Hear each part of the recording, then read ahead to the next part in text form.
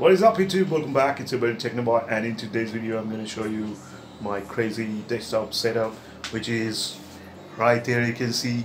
Now why did I call it crazy? Because of the speakers. You can see that I'm not going to talk about the main thing, the computer.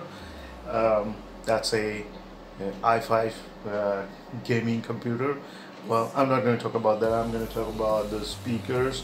Yeah, that's why I call it crazy because you can see that's a 32 inch LED monitor right there and this thing is surrounded by the speakers. You can see so many speakers are there. You can see from top to bottom and from this side to that side so many speakers are there. And here I have uh, 5.1 and also 2.1 and also this mini soundbar right there you can see. So uh, let's start with the big one. So that's the big one. That's the Yamaha AV receiver. It's the 5.1 uh, home theater with uh, Dolby audio and DTS digital surround and uh, all the stuff. And this thing is connected to the speakers. You can see the other one Pioneer that that's the left that's the center and that's the right one so these are the three front speakers and at the back you can see that's the small one. That's the surround left and here that's the surround right. So that's the one the number one that's the 5.1 well now second is right here that's also 5.1 it's uh, Philips uh, SPA 8000B that thing also has the Dolby PL2 effects. That's a nice thing. I like that. So that's a 5.1 and that's a 5.1 these two 5.1s are there. And these are the speakers. For the Philips left the center and the right. And you can see the surrounds are there at the bottom.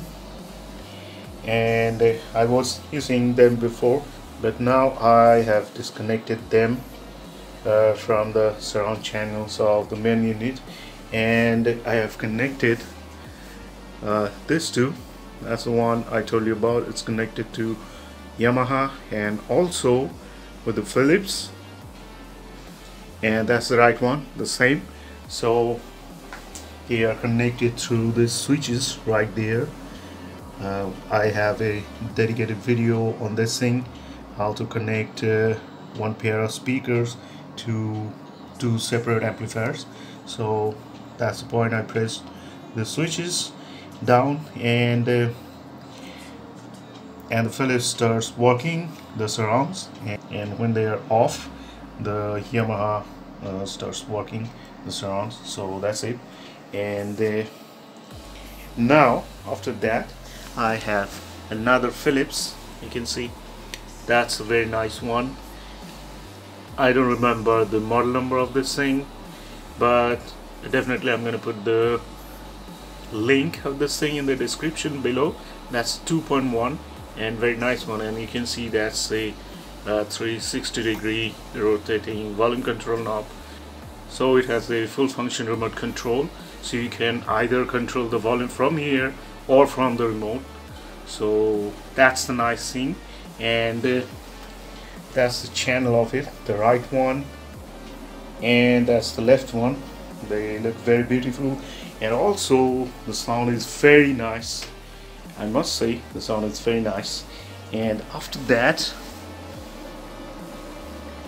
you can see that's the Logitech Z337 and that's the side of uh, the main unit. That's the port right there and it's tied to the stand on the other side of this table uh, just like this. So that's the one. And the speakers are there. That's the right one and uh, that's the left one. And this is the control pod for this thing. This thing sounds very nice too but the bass of uh, Logitech is uh, not that much great. It uh, sounds muddier as I told you before alright so that's the fourth one. That's the yeah I had to turn on the flash and that's the Logitech I told you about and uh, that's the fourth one. And now the fifth one that's the F&D F203G it's a 2.1 uh, speakers and the subwoofer at the bottom the driver and that's the port and that's a big volume control knob you can see. And the bass control knob is at the back of this thing. And these are the speakers the right one. And here the left one. So that's it. Uh, this F&D sounds uh, very good too but uh, the highs are kind of very thin. And to say the frequencies are a bit of uh, higher than the other uh, home theaters channels. But for the price that's very nice too. So that's that was the fifth one. And now the final one is this the Redragon mini soundbar it's uh, USB powered. And this thing has a headphone socket and also a mic socket uh, right there. So this is the nice thing and it can be separated uh, from there. You can see. So you can use this as a stereo speaker. You can keep them both side of the monitor or TV whatever. Or you can use just like this as a soundbar. As this is the USB port so nice thing about this speaker is this thing has an off switch right there with the volume control here you can hear the tick noise. That's the noise you can see the red light is there. And also at the speakers you can see. So that's a nice thing and uh, alright so that's it. And uh, now all these things they are connected to PC but PC has one port as you know the audio out uh, 3.5mm socket.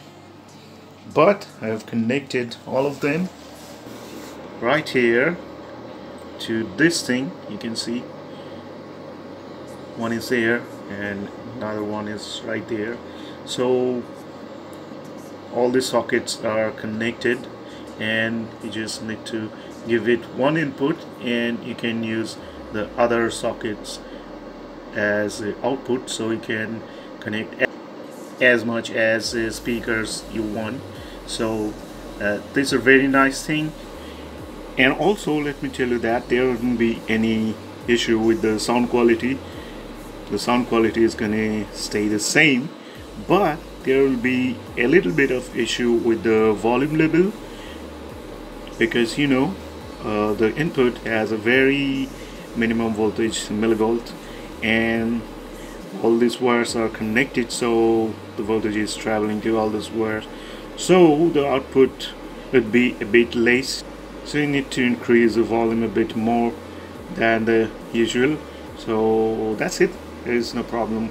And all home theater sounds uh, great. And uh, so that's it. And that's my crazy desktop setup and later I'm gonna give you a demo all the speakers together and you're gonna see how this sounds all together.